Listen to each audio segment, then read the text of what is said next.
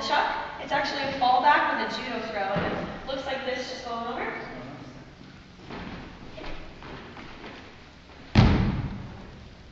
And then we usually dance out of all of our aerials.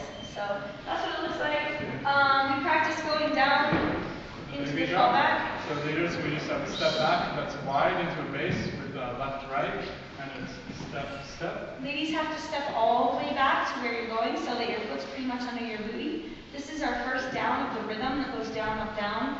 So this is our down, and we come up. Ladies have to stay up here. So I don't think down, up, down. I think down, up, up. But the guys, when they rotate me all the way 180 degrees around, they get their booty underneath Underneath, mine. that's really important, so we actually have some power.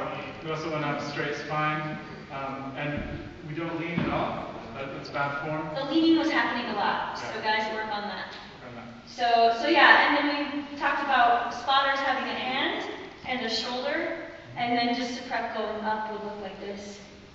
Bring her up here. If it feel, felt pretty good, we did do a slow roll over from there, which would look like this. That's the rollover. And the ladies kind of tuck the abs to